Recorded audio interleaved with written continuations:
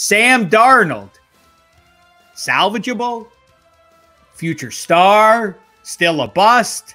How say you? This is your answer. We're going to etch it into the scrolls and you have to live by it for the rest of time. There's a very strong minority of people that will defend this guy to the hilt and say it's all Adam Gase and the situation, and he just had no shot. And as soon as you free him from that environment, you're going to see the real Sam Darnold. You're going to see the guy that makes those splash plays, you know, pretty much every game, just not enough of them.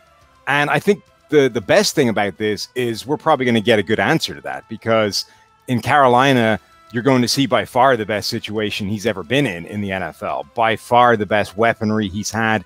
He's teaming up with one of the great young play calling, coaching minds in the NFL in, in Joe Brady okay, the offensive line is not in great shape, but it's still at least on par with what he's had with the Jets for years. So we're going to get a pretty good answer, I think, as to how much of that has been Sam Darnold and how much has been the environment. Um, my hunch says that, look, everybody wants to blame all of this at, on Adam Gase. I think in the hierarchy of problems that have been besetting Sam Darnold since he came into the NFL, Gase is at most the third most impactful one. The, hmm. the, Jets roster definitely hasn't been good. That's probably number one. Sam Darnold not being good is probably number two.